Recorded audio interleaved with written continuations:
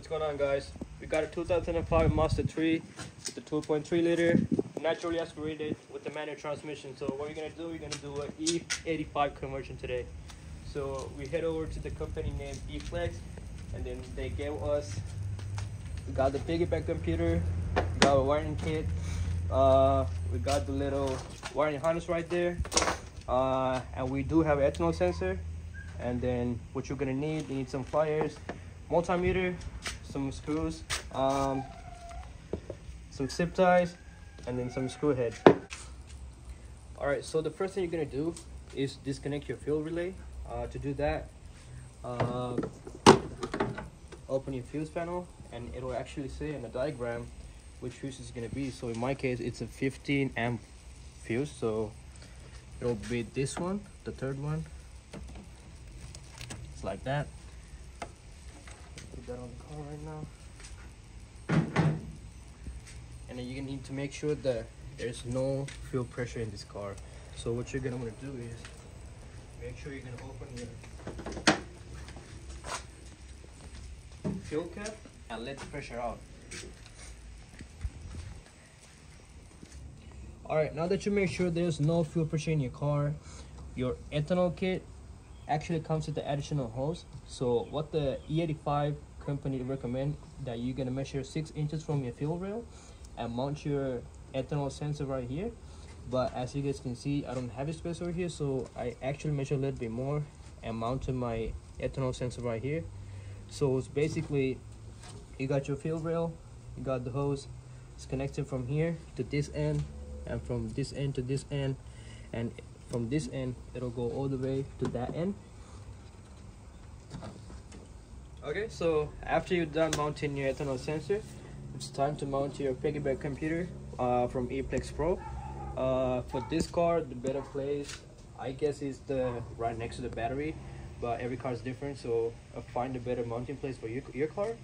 Uh, I think I'm gonna go ahead and mount it right over there where my battery is. I actually had to little uh, trim it a little bit just to make sure that I don't really rub it against each other uh, what, what, you're gonna do.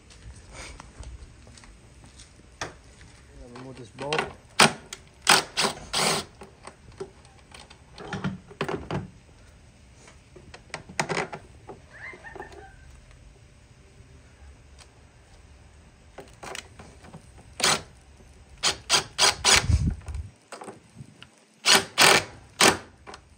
like that.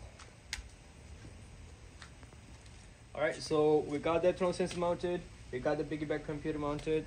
The only thing left to do is find out the right voltage and then we're gonna have to do the wirings. So it's pretty straightforward to be honest. Um we got our main wiring harness right there.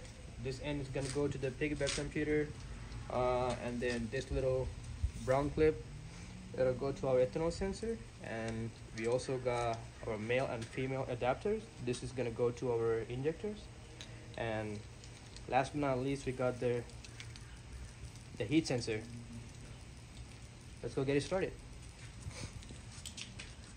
All right so let's go ahead and plug this in.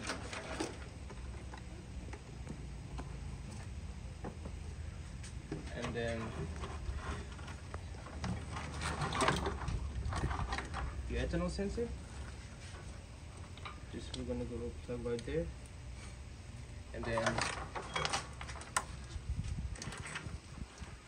what you're gonna do go ahead and disconnect all your fuel injectors the wiring harness and then go ahead and grab your multimeter and make sure it is on continuity. And what you're gonna want to do is go ahead and grab one of the ends plug it into one of those. And then the other end. If you hear the beep that is where your red wire goes to. If you if you don't switch it and do it again. Okay so now we're gonna do connect our male and female adapter to our injectors right there. That and then this adapter is gonna go connect like that. And then the same rule apply to all these so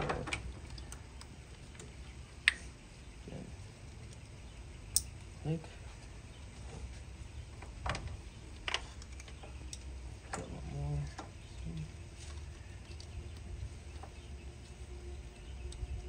Click last one and then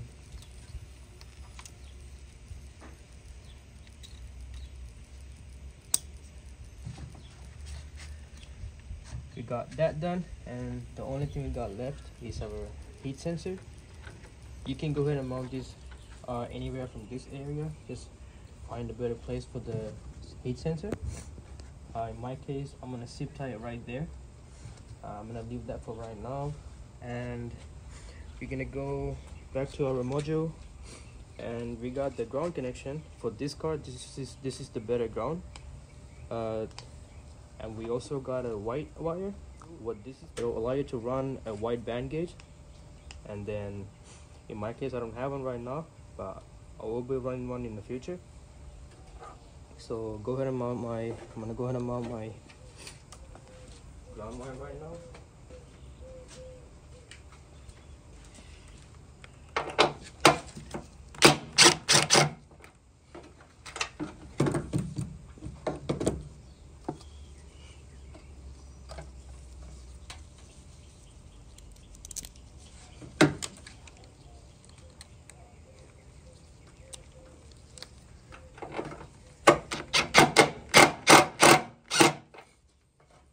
like that, nice and secure.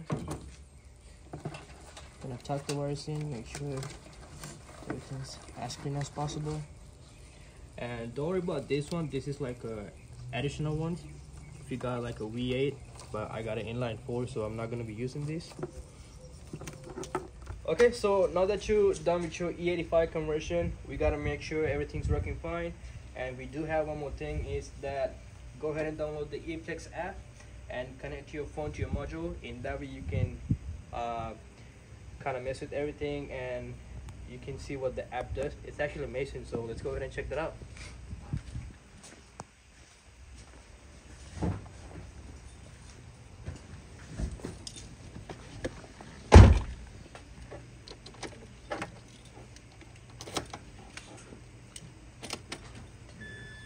Well I heard the click on the fuel pump so we got fuel going on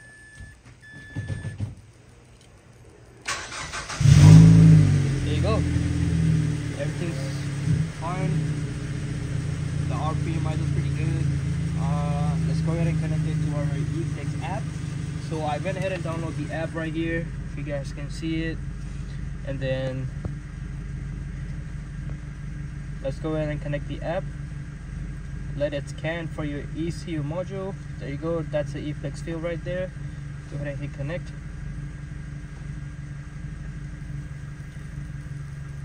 just wait a little bit and it's gonna take a little bit of time but there you go. We got the RPM we got the ethanol content.